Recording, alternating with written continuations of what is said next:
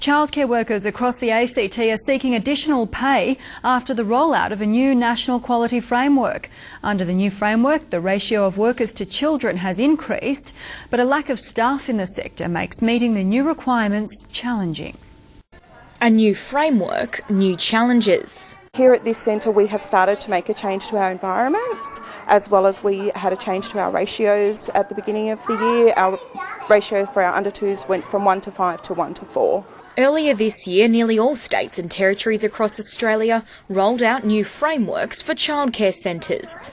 Essentially, at the heart of it is trying to make better outcomes for our children, and implicit in that is a need to have higher qualifications for the educators. The changes haven't come without challenges. We have had to um, employ new staff into our centre to cover those ratios, which unfortunately, with the staffing shortages the way they are, that has caused a few issues.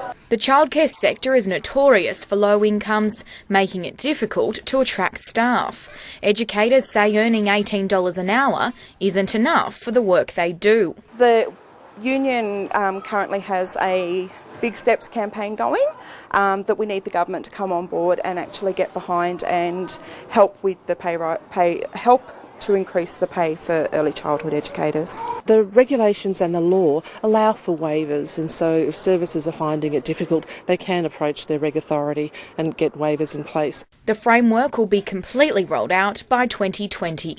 Gabrielle Adams, WIN News. Some of Australia's